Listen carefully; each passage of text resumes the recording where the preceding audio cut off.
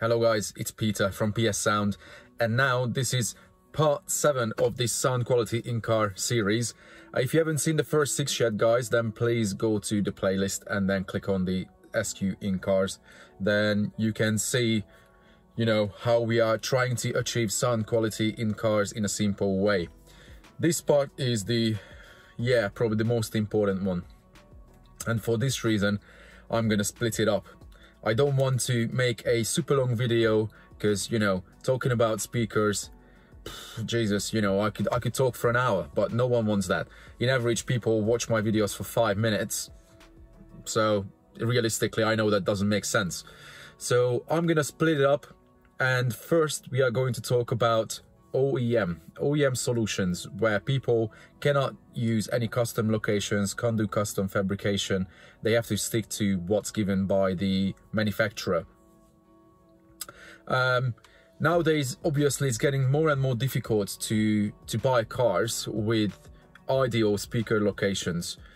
Manufacturers put speakers to different locations based on, on very different um, reasons, but for them, you know, most of the times it's, it's really down to where they can just get the speakers out of the way so they can rather make the car more practical. They can make a bottle holder on the door card or similar things.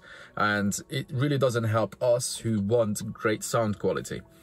Um, there are a few cars nowadays rather the, the popular cars which don't necessarily have bad bad bad platforms but you have to be familiar with um, the characteristics, what you can do with those speaker locations. For instance, BMWs. Most BMWs now share the same platform when it comes to speaker locations. Um, they have an 8, 9, 9 inch um, kind of really flat driver, bass driver underneath the seats. And we are going to cover roughly, you know, um, what the char characteristics are for those speaker locations. So they have a bass driver under the seat. They have a 4-inch driver in the door cards, which most of the times runs full range, so it doesn't really have a great detail if it's not a coax. Um, or they also have an additional tweeter in the sail panels. Um, you can you can do really well with those locations actually, but you have to do what to do with it. Um, first of all, the bass driver um, can only really play up to like 150 160 hertz and that's it. From that location underneath the seat the seat filters what range it can play and obviously the location is not the best either but you can work around it and you can you can work with it really well. So if you run active as you could see from previous series um, we were talking about active systems having um, you know amplifier channels, enough amplifier channels running the drivers individually and having the DSP so you can control the response. You can control every single driver.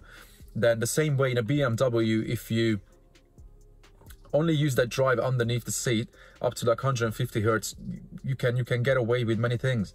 Um, but then obviously you cannot pair that with a 3 inch driver. That's not going to play low enough to integrate it to the 8 so that's why the factory 4 inch location is not bad. It's a little bit low in the door card but it, it can it can work okay. Um, and ideally yes you need a pair of tweeters as well in those cars in the sail panel. If you want to keep it stock then you can have a three-way stock looking system and it can sound really good. But the key is it must be active and must have a dsp and tune well. Then the new Mercedes platform. They have the mid bass in the firewall in front of the pedals on driver's side, and they have uh, one on, well, in some of them, they have a bass driver on the passenger side as well, under like, you know, three, four inch really thick foam under the glove box. The same thing is happening over there. Those drivers cannot really play above 140, 50 hertz. So these solutions work rather like you know, those are kick bass drivers. They are not really mid bass drivers. Um, so again, in those cars, you need at least a four inch mid range in order to integrate that bass driver in that not really ideal location.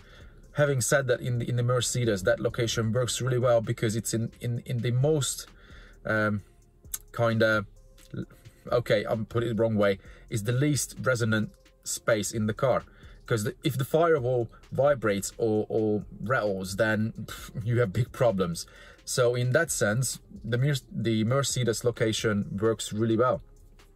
we built a, a car a year and a half ago uh, you can go to description i add a link to that the mercedes uh, e-series e-series amg we built a year and a half ago and that worked out really well. But we need a four inch driver um, to cover the response from like 150 hertz upwards. Then it worked fine. But then it wasn't quite an oem solution because we had to do custom fabricated a pillars. Then of course you know people can ask you know, why don't we try to buy cars which have ideal speaker locations? What is an ideal speaker location, right? Well, for a mid-bass, in most cases, and when we, we talk about the ultimate solutions, then the mid, the best location for a mid-bass would be in the kicks, but pff, you can, cannot find any car uh, with location like that. Um, so in that sense, the Mercedes and the BMW location is not terrible. And then actually I built a Kia. Again, if you go to description, I added a link to that. Sorry, where you can um, see how I created uh, enclosures underneath the seats the same way. And I was using four inch drivers up on the dash. And, and that car worked superbly. And that car was bought on purpose by the owner because the car had beautiful locations on the dash right on the dash on a really ideal angle for the mid-range and instead of you know trying to get a speaker on axis because most people think that if you put a speaker on axis in a on a in a car then you can get away uh, with at you know as little amounts of reflections as possible but um, it's not the case even if you have drivers mid-range and tweeter drivers in a car on axis you still have reflections. You sit in a box. It's, you know, it's impossible to avoid it. So in many cases, if you're clever, you can even use the reflection to your advantage. If you have reflections anyway, why wouldn't you use them? Most people don't even think about it and they think, oh no, no, that's that's that's not cool. But in many cases, if you have a mid-range location up on the dash, do it. Do it first. Try it. Use the windscreen as your acoustic lens and it can work. It can work absolutely fine. Of course, again, it needs a nice amount of EQing and you have to know how to do it well, but it can it can work beautifully. And um, like in many Toyotas, uh, Lexus, they have mid-range and tweeter drivers up on the, the dashboard. So instantly you have uh, an easier chance to create a stage that we were talking about in part one and two, what we want to achieve. Um, you can create a high stage because the drivers are not at your knee level. Um, they are up high already. And um, it can work. Why wouldn't you? I see many people with Audis and they have enough space on the dash for a two inch driver. Why wouldn't you put a two inch wideband there? But that you can play from like three, 350 hertz upwards. And in many cases, if you select the, the right wideband driver, it can play even tweeterless. Many people don't even know what a wideband speaker is. Basically, you can see wideband speakers from 2 inch up to even 7 inch um, and they can run without a tweeter and they can cover the top end just just as well as a tweeter in many cases and those people who doubt it um, I would suggest them to do a bit of research because some of the best cars uh, in the competition lanes actually are tweeterless. In Europe as well, there's a car who won the guy won the Euro finals, I don't even know how many times. You cannot count it, like six, seven times. And he runs 7-inch drivers, tweeterless. Okay, fair enough, it's an extreme build. You, you cannot compare that to an OEM build. Um, custom dash, he uses actually three speakers, two 7-inch drivers in the corner of the dash, um, and one subwoofer underneath the dash. But it's just an example. Um, or like in the US as well, many guys won the World Finals because you you know guys in the US you call it World Finals. Um, some of the guys won with widebands as well, like Matt Hall. He was using what five inch drivers, tweeterless, and he had four speakers in the car. Two of those up on the dash, and then two 12 inch uh, bass drivers in the kicks, as far as I remember. And you know it can work. So don't put widebands away, you know, they can work really well. So OEM uh, is, is tricky. And of course, you mustn't forget that in many cases, you you may have really good speakers by the factory. The system just sounds so shit because there's not enough processing power behind it and it's not tuned properly.